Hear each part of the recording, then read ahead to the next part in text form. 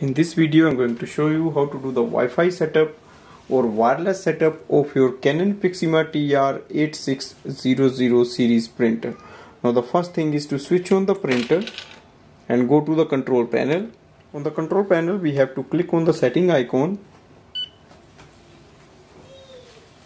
device settings, LAN settings, Wi-Fi,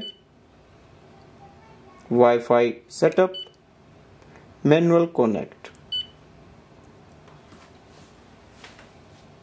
Select your Wi-Fi network. Enter the password. So this is the password of your Wi-Fi network. So you enter and click OK. So once we click OK our printer is connected to the Wi-Fi network. You will see the Wi-Fi signal available on the screen. Now now add your printer in any device for wireless printing and scanning for example, I'm going to add it in my iPhone. In iPhone, we can simply download the Canon Print app. Once we open the app, it will ask you to search for available printers. Automatically, it will search and add the printer here. Close it.